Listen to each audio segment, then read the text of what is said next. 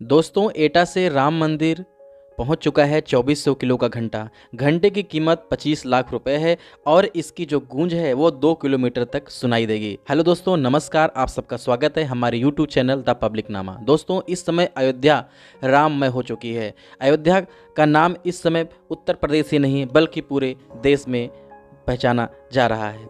दोस्तों, इसी क्रम में सभी लोग अपने अपने तरफ़ से उपहार, रामलला को भेंट कर रहे हैं। उसी क्रम में एटा से राम मंदिर 2400 किलो का घंटा पहुँच चुका है। घुंघरू घंटी उद्योग की नगरी एटा के जलेसर से 2400 किलो का घंटा अयोध्या पहुँचा है और घंटे को सैकड़ों व्यापारी फूलों से, रथ से सजाकर अयोध्या लाए हैं, जिसे श्री राम मंदिर के तीर्थ क्षेत्र ट्रस्ट को समर्पित किया गया है। इसके साथ ही दोस्तों 50-50 किलो के सात और घंटे भी ट्रस्ट को समर्पित किए गए हैं। ऐसा कहा जा रहा है कि जले सर के घंटे पूरे विश्व में मशहूर होते हैं।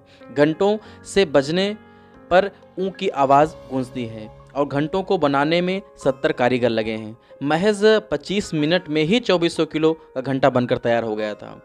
कारोबारी मनोज मित्तल ने दोस्तों बताया है कि उनके पिता विकास मित्तल की स्मृति में इस घंटे को तैयार किया गया है। 8 जनवरी को एटा से एक प्रतिनिधिमंडल जुलूस के रूप में अयोध्या के लिए निकले थे।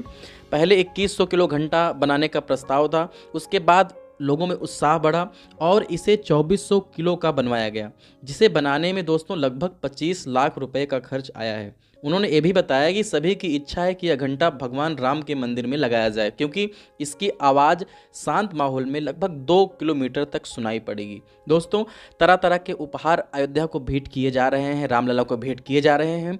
ऐसे बहुत सारे उपहार अन्य जिलों से, अन्य प्रदेशों से भी अयोध्या लगातार पहुँच रहे हैं।